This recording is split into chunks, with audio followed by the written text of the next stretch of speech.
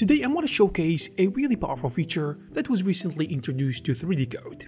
This feature allows you to design on a curved surface. It involves using curve patches with the blob tool and various other voxel tools to make awesome designs, helmets, a face guard, a shoe, a chest piece, you name it, anything you want. And this is a huge update, because it opens the door wide for so many possibilities. And while it is still fresh and might be rough around the edges, it is only going to get better from here, and I think everyone should try it, as we will see shortly. The setup is very simple. First, get your modeled character, or whatever you want to design on. Now, we need to draw the surface that we will be working on. To do that, hit Q, and pick a curve creation tool. Now draw the guidelines for the surface, then hit escape to finish creating the curve. The simpler the curve, the better, because it is far more easier to make quick edits with only a few control points, rather than having to adjust many points. If I want to design something for the chest area, I can draw three curves. As an example, the number of control points on each spline does not have to match. Once you are happy with the result, you can proceed to creating the lofted surface. But before that, make sure that you select all your curves from the curve tree panel.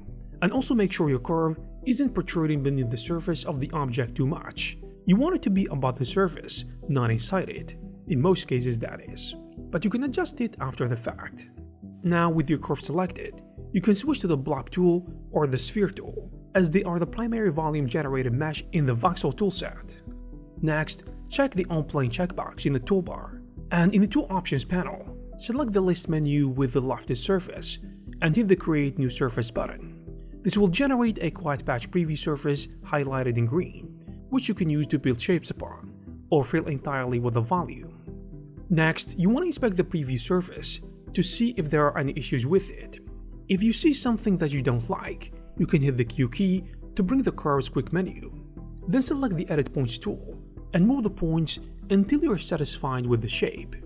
Another option that you might find helpful is the Hide Surface Preview as well as the offset from surface option, which helps you adjust the distance between the base object and the lofted surface.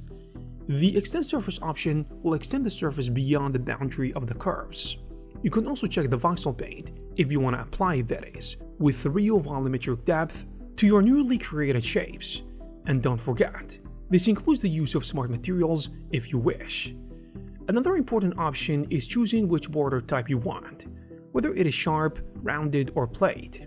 There are various other options too, but at the very bottom of the panel, you can click the button labeled Fill Lofted Surface, and it will fill the entire preview surface with a thick volume, which can be made thinner afterward by right mouse button clicking the sculpted tree layer and choosing the extrude option with a negative value. Now you can start making edits to the object, such as cuts or using live or soft booleans, if you prefer to work this way. Perhaps you want to layer stuff additively. You can create multiple layers and work however you want. Some important tips would be enabling symmetry mirroring, so you only need to worry about one side.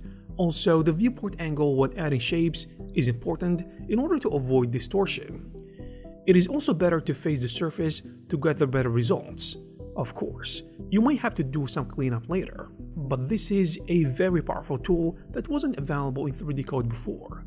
It is super versatile and can be further enhanced to be a real game changer.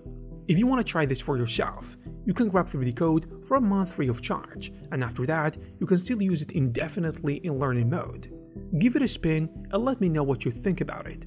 Also check their YouTube channel, as well as Anton Tenitsky's, who offers a ton of 3D Coat training content on his channel, in addition to Gumroad page. Together they have hundreds of great tutorials on 3D Coat, including all the new features. Finally 3D Coat is running a Christmas sale that will last until the 7th of January, with tons of discounts on almost all the products and licenses. To check them out, hit the link in the description down below. And there you have it guys. If you like this video, please give it a thumbs up. Also please subscribe to the channel to receive more videos like this. Thank you very much for watching, and I will see you in the next one.